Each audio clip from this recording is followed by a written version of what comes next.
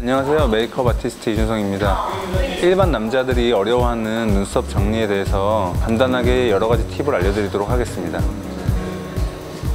우선 이제 이분 같은 경우는 눈썹 형태는 되게 잘 이제 만들어져 있는 케이스 같은데 약간 색 자체가 약간 옅고 그다음에 숱 자체가 조금 적은 편이어서 흐려 보이는 그런 눈썹 형태를 갖고 있거든요. 그리고 이제 눈썹이 이렇게 일자 모양을 갖기 위해서는 시작점이랑 이제 이렇게 끝점이 그쪽으로 일자라고 생각하시면 되는데 이 약간 밑에 이 눈썹 때문에 눈썹이 좀 더 이렇게 올라가 보이는 그런 형태를 띌 수도 있어요. 그래서 이 부분을 약간 걷어내주고 그 다음에 좀 깨끗하게 여기 밑에서 좀 정리를 하고 그 다음에 이 뒷부분에 이 털도 약간 정리를 살짝 해주시면은 그런 눈썹에 약간 깔끔하게 정리된 그런 눈썹 모양을 만들 수 있거든요.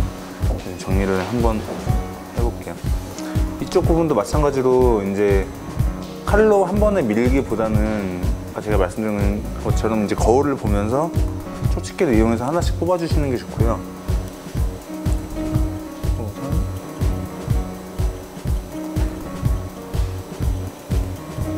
네, 이렇게 보시면 이제 아까 그 밑에 부분만 해줬을 뿐인데 그런 올라가는 형태의 그런 눈썹은 조금 사라지고 약간 일자 눈썹의 형태를 더 갖게 되거든요.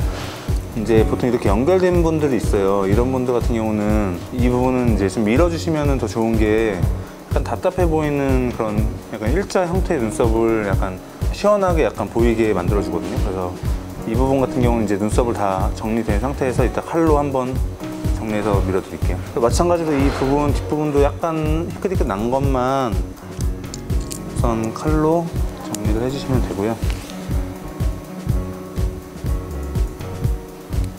그리고 아까 제가 말씀드린 이 끝부분에 있는 것도 그러니까 모 자체가 약간 옅은 거 같은 경우는 사실 안 뽑아도 상관이 없는데 조금 짙은 이런 눈썹 같은 경우는 그냥 뽑아주시는 게 오히려 깔끔하기 때문에 형태감을 잡아주시면 되고요. 밑에 부분을 정리를 했고 이제 이 가운데 부분 같은 경우도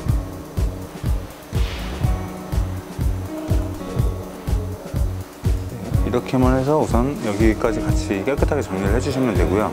이분 같은 경우는 전체적인 눈썹 형태가 잘 잡혀는 있지만 색 자체가 옅기 때문에 위에까지 굳이 정리하실 필요는 없고요. 이따가 그려주실 때 조금 이런 빈 부분을 더 채워서 그런 부분만 해주시면 크게 이 윗부분에 나 있는 눈썹 같은 경우는 정리를 굳이 할 필요가 없거든요.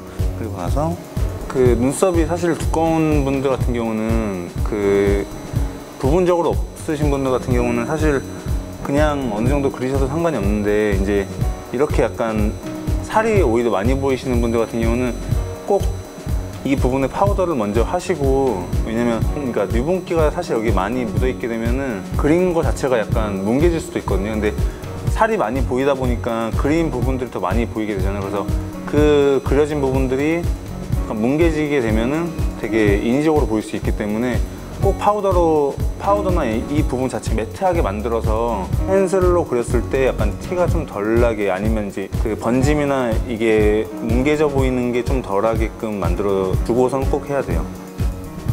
그리고 이제 처음에 잘 못 그리겠다고 생각하시는 분들 같은 경우는 밑에 부분을 우선 먼저 그린다고 생각을 하시고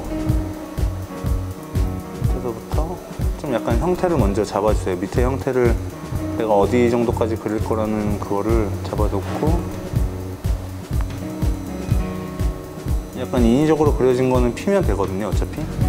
eyebrow 마스카라를 이용을 해서 그 컬러 자체가 약간 옅으신 분들 같은 경우는 이걸로 조금 더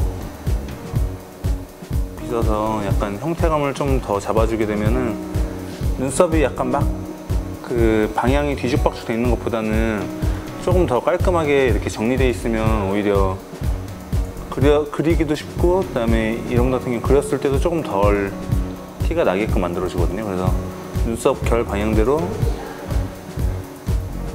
마스카라를 조금 해주시면 이제 컬러 같은 경우는 마스카라의 컬러 같은 경우는 이제 본인의 눈썹이나 그 다음에 머리 컬러나 그 다음에 눈동자 컬러에 맞춰서 하시게 되면은 자연스럽게 맞출 수 있으실 거예요.